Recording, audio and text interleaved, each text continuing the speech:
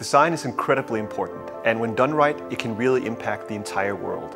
The effects can be seen back all the way to the ancient Romans, where they used sophisticated theories of aesthetics to create stunning buildings that clearly stood the test of time.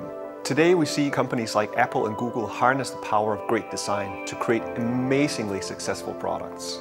The key to such great designs is the focus on the user, and that's why we call it the user experience or the UX. So when Apple created the iPhone, Steve Jobs was absolutely obsessed with figuring out how people would understand and use this new type of technology.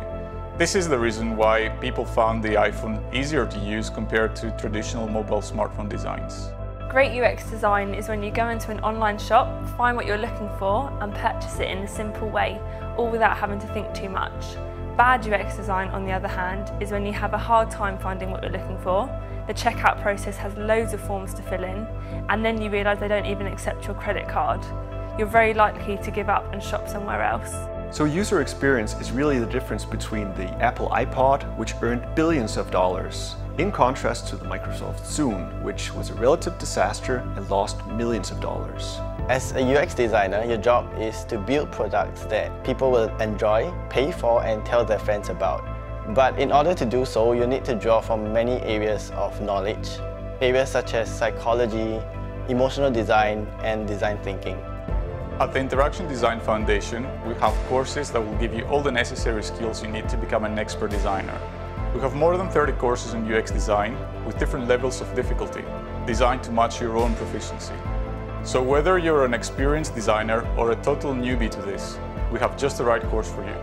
You can't afford to take any risks when it comes to your education and career. That's why you need to choose an educational provider that is credible, transparent and recognised by both industry and academia.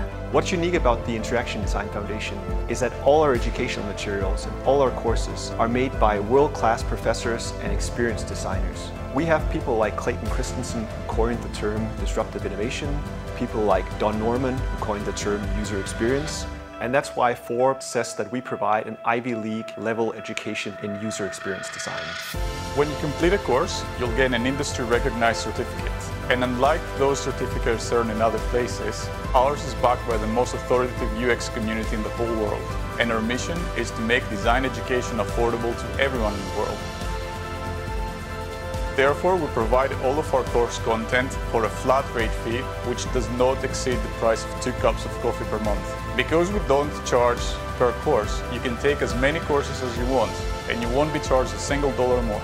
We want to change the world, and we want to change it by providing top quality design education at an extremely affordable price. So join us, start learning and advancing your design career, and then you can make an impact on the world by designing fantastic products.